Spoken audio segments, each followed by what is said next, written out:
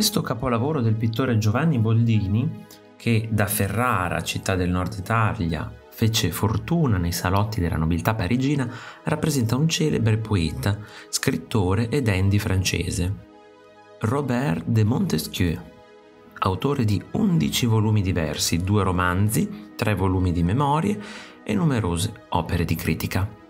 L'essere dandy negli anni della Belle Époque, a fine Ottocento, era un atteggiamento che consisteva nel vestirsi elegantemente, esprimere un egocentrismo esasperato e un'ironica separazione dalla realtà e rifiutare la mediocrità borghese. Fu Madame Veil Picard, amica comune di entrambi, a commissionare il dipinto a Boldini che era molto colpito dalla fama di questo esteta contemporaneo. Quarto e ultimo figlio del conte de Montesquieu-Fezensac, Robert discendeva da una famosa famiglia che contava al suo interno il celebre D'Artagnan. Apertamente omosessuale, fu sempre molto attento a evitare scandali e pettegolezzi. Alla sua morte nel 1921 lasciò i pochi beni che gli restavano al suo segretario.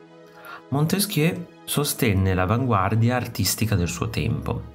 Mallarmé e Verlaine in poesia, Debussy e Fauré in musica, e Le in pittura. Il conte ispirò inoltre il personaggio di Desessin nel romanzo A Rebours di Joris Karl Heisman. Quest'opera condensa sia il complicato rapporto pittore-modello sia i pensieri sul ritratto moderno scritti dallo stesso Montesquieu in un articolo rivolto a Boldini. Il conte sostenne che per far bene un ritratto non bastasse essere fedeli alla realtà, ma occorresse realizzare sulla tela un mix tra l'identità del pittore e quella del modello. Boldini venne identificato come il ritrattista moderno per eccellenza, perché nei suoi dipinti svelò le caratteristiche del soggetto rappresentato, ma inserì anche un giudizio personale. In questo quadro l'artista mise sicuramente in evidenza l'aristocrazia, la sicurezza e l'eleganza di Montesquieu, ma fece molto di più. Il conte infatti tiene in mano un bastone da passeggio, a mo' di scettro, simbolo regale. Forse Boldini, nel mescolare un atteggiamento della ritrattistica regale del XVI e del XVII secolo con la raffigurazione della modernità, ha voluto ironizzare sull'estetismo esasperato del conte. Una curiosità.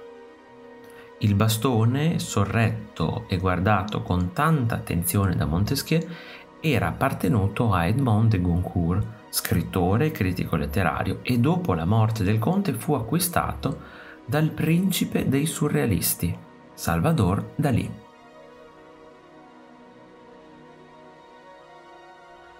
Se ti è piaciuto il video iscriviti al canale, lascia like e condividilo con i tuoi amici ti invito anche a visitare il mio negozio. Un saluto e al prossimo video di Arte Esplorando!